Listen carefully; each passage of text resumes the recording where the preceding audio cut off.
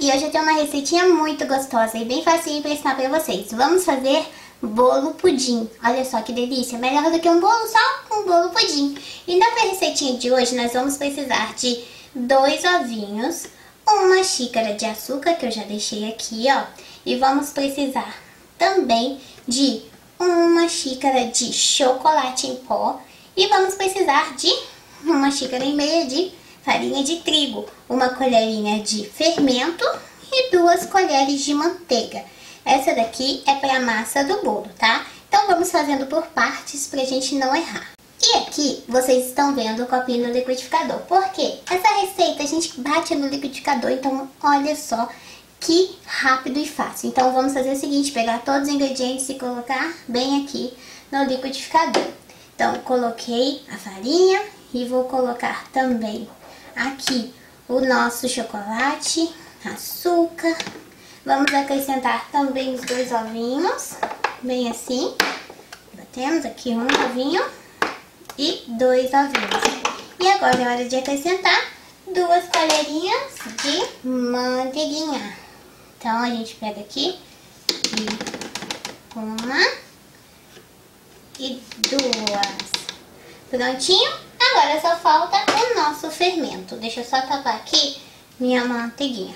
Prontinho? A hora do fermento. E o fermento é uma colherinha pequenininha, tá bom? E agora a gente já acrescenta o nosso fermento. Prontinho? Agora vamos colocar para bater. Depois que bateu bem, já desliguei aqui o liquidificador, nós vamos passar essa massa para a forma de pudim ou forminha de bolo redonda também, dessas aqui, ó.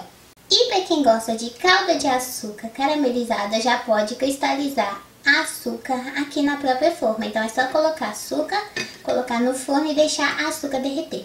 Eu vou colocar minha calda por último, tá bom? Eu já vou deixar a nossa massa do bolo aqui, porque nós vamos usar o liquidificador para poder fazer o nosso pudim também aqui no liquidificador.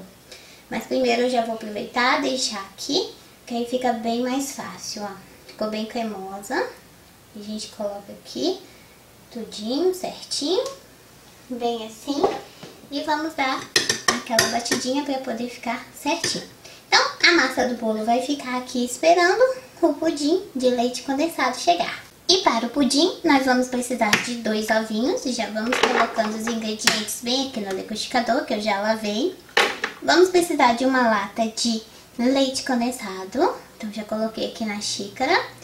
E a mesma medida da lata de leite condensado, se vocês não quiserem medir na, na lata, vocês podem medir em alguma xícara, alguma vasilhinha, tá? Para despejar o conteúdo. Nós vamos colocar o leite. O leite tem que ficar dois dedinhos a menos do que a lata de leite condensada, tá? O conteúdo. E a gente pode medir assim, ó. Tá vendo? Vocês já vão ver a marquinha certinha. Então aqui, colocamos o leite. E são só esses ingredientes, tá bom? Agora a gente vai colocar tudinho pra bater. A gente liga agora, aqui no 1 e no 2 e vamos deixar bater. Daí, depois que bateu bem, vamos desligar, pegar a nossa forminha onde está o bolo.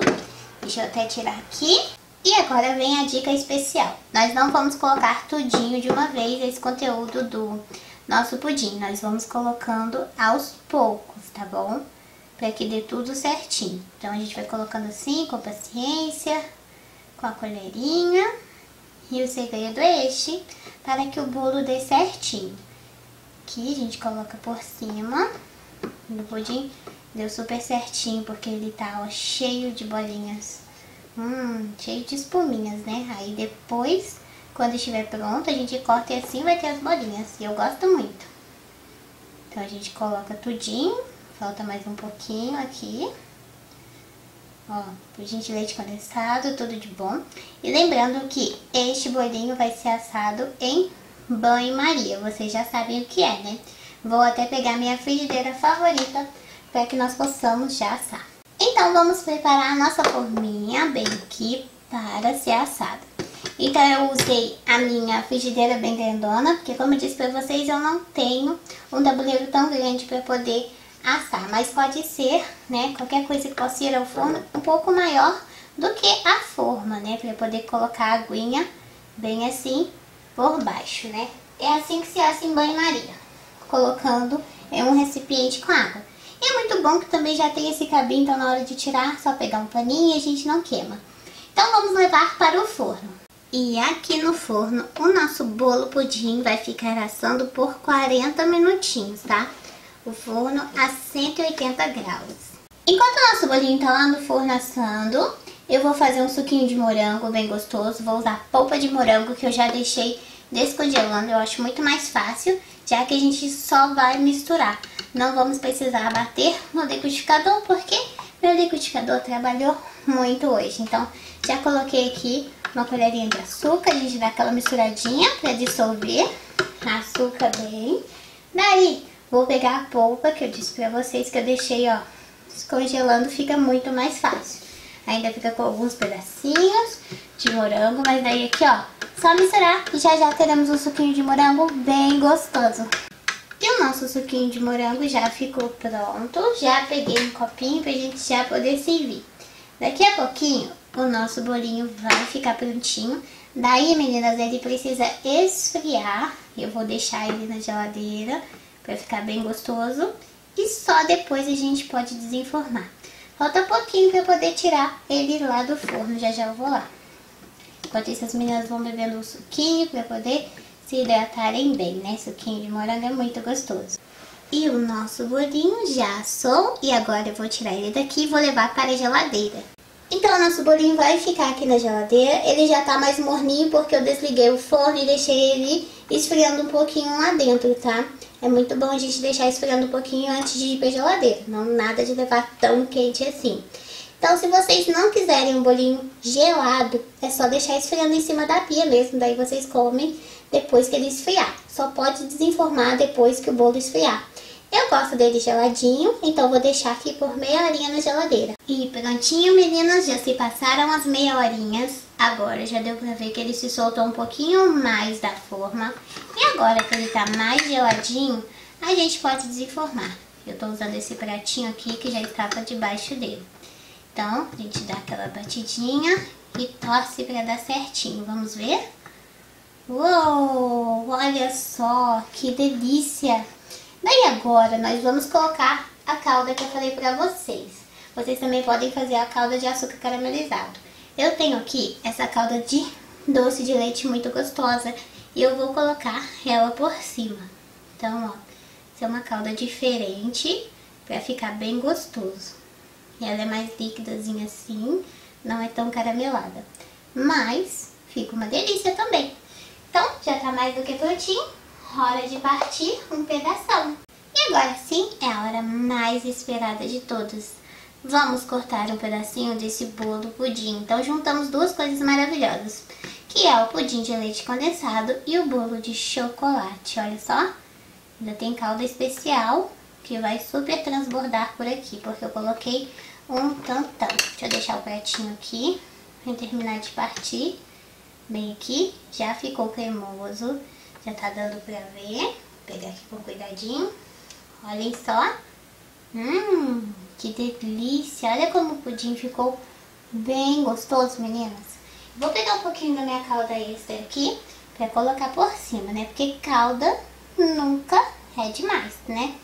Eu adoro. E essa daqui não é muito doce o que deixa esse bolo mais gostoso ainda. Então, ó, agora é hora de comer e não vamos perder mais tempo, né? Que delícia! Hum, esse suquinho tá muito gostoso, mas agora eu quero provar mesmo esse bolinho pudim aí, tá com uma carinha muito gostosa. Olha só, filha, que tal? Hum, que cheirinho mais gostoso. Então deixa eu tirar aqui o seu copinho e agora vamos cortar um pedacinho pra você. Olha que delícia, vamos ver a cremosidade. Hum, yummy. Hum, essa ideia de bolo com pudim é muito boa, não é, filha? É ótima. Hum, mamãe, esse foi o melhor que eu já comi na minha vida. Que delícia, bolinho com pudim. É, filha, mamãe vai pegar mais um pedacinho aqui pra você. Quero mais, quero mais. Só um minutinho, ó. Pera aí que eu tô cortando bem aqui um pedacinho, ó. E agora temos aqui pudimzinho bem gostoso. Yummy! Mas mamãe, a mistura do bolo e do pudim junto é muito gostosa. Hum, que delícia. Filha, vamos tomar um pouquinho de suquinho? Aham. Hum, esse suquinho também tá muito gostoso. Será que eu posso comer mais um pedacinho? Claro que sim, filha, ó, com bastante calda. Hum, essa calda é muito gostosa. E acabou, comemos tudinho. Já sim, mas tão rapidinho. Uhum. Ah, não. Bom, meninas, o vídeo acabou, mas a diversão não.